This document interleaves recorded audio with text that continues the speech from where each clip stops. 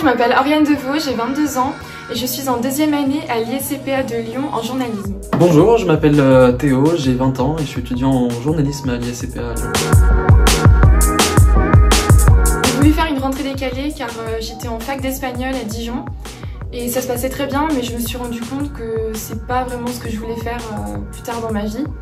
Et euh, du coup, quand j'ai euh, trouvé l'ISCPA, bah, je me suis dit que c'était euh, ma chance de ne pas perdre une année. J'ai choisi la rentrée décalée parce que avant j'étais en fac de droit à sciences politiques à, à, Lyon. Je savais que je voulais déjà devenir journaliste et du coup la fac, je me suis rendu compte que c'était peut-être pas fait pour moi. Donc j'ai préféré rentrer dans une école professionnalisante pour rapidement être sur le marché du travail.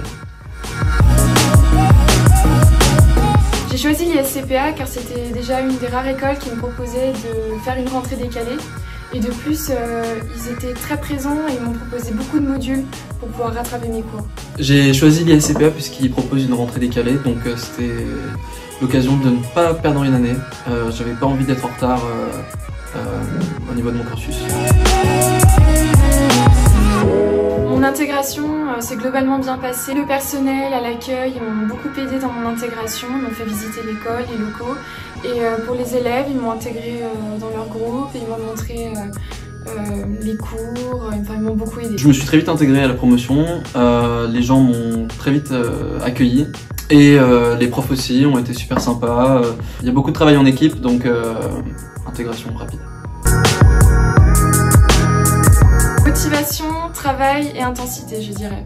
Défi, épanouissement et opportunité. Ne perdez pas une année et optez pour une rentrée décalée.